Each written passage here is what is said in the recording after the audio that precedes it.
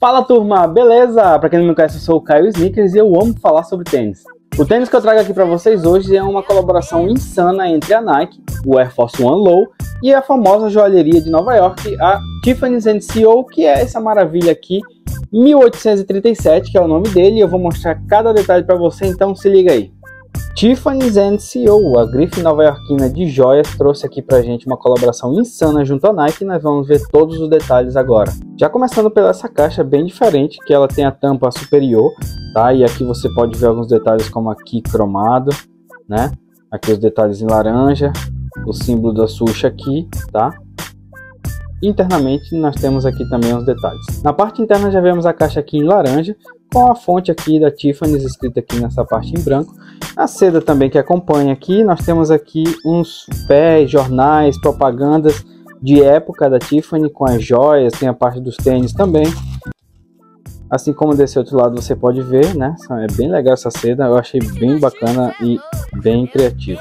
Fora isso, cada par aqui é envolto com essas sedas aqui, que elas são um pouco mais grossas, mais normais. Agora falando do tênis, no cabedal você já percebe que ele é todo predominantemente nesse preto, com esse camurça aqui de alta qualidade. E temos algumas partes em couro, como o suúche, a parte traseira, e algumas partes em cetim, como a língua. A sua Toy Box segue aqui o padrão todo em camurça premium preto. Na parte do rio nós temos a parte especial, que é essa parte da plaquinha aqui de prata 925, a prata mais pura que tem, então você pode ver que ela é uma prata que ela é até bem grossinha, né?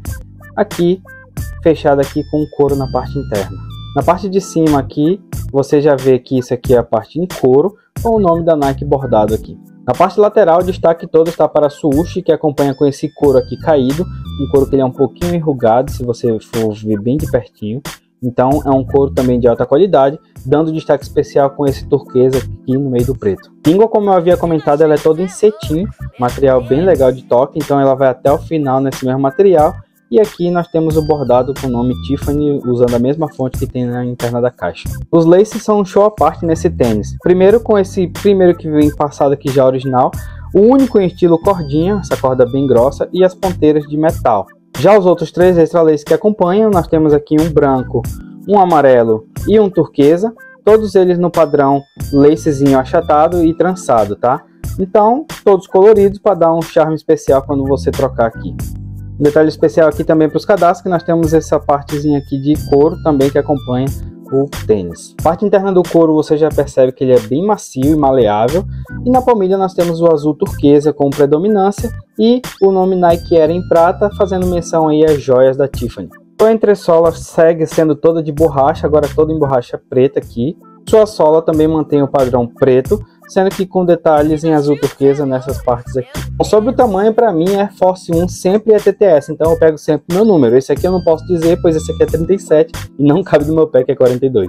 Esse pá teve lançamento no site da Nike e acabou em segundos, quase ninguém viu a cor desse tênis no site, mas tem alguns revendedores e um deles é a Bird Sneaker, que eu estou colocando aqui marcado porque ele me disponibilizou esse pá para fazer o review e o material completo dele. Se você curtiu esse review aqui bem detalhado, então já curte, compartilha com quem gosta da Tiffany's e Nike também e já segue para mais review como esse, tá bom? Então até a próxima aí, valeu!